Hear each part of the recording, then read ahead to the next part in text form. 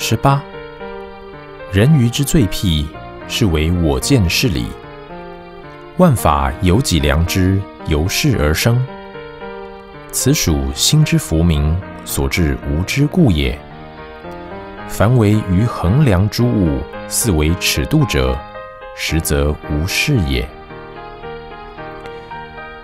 给人造成愚痴的最大弊端，主要是以为自己掌握的一切都是真理，对世间上的一切，无论是精神或者物质的，都拿自己的观点、自己的心境去作为尺度来衡量。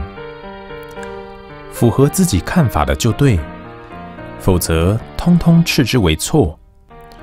之所以如此，其原因主要是来源于自己的心境未能开发智慧，对于真理见数未能得理，而片面的看待问题，以自己所知的一点一滴概括异他之全面。从而使自己处于一种无知境界当中。